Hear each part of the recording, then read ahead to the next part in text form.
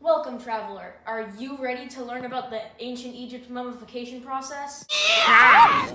Yeah! Wonderful. Let's begin. But first, we need a mummy. I found a mummy, but like, we gotta put this jewelry in a box. Now, you may be wondering why the mummification process was so important for ancient Egyptians. I just want to know why I'm being mummified when I'm still alive.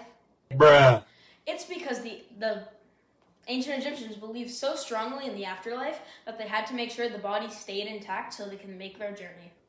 We have to retrieve her brain by sticking a hook in her nose. Ew! Huh. That's what my brain looks like? Now throw it in the garbage. Now we take out the organs. Huh, that's what she had for lunch. Yummy.